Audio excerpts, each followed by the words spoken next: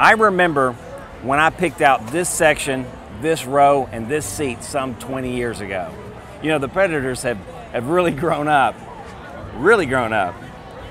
Now they're playing for the Stanley Cup, and well, I've grown up too. But one thing that hasn't changed, and that is I'm always going to stand for you. So if buying or selling real estate in the Nashville area is your goal, call me. And the Predators take a 4-3 lead. The Nashville Predators are going to the Stanley Cup Final. I'll work overtime for the property you need. I like it, I love it, I want some more of it. And the first thing I'm going to buy is a New Jersey.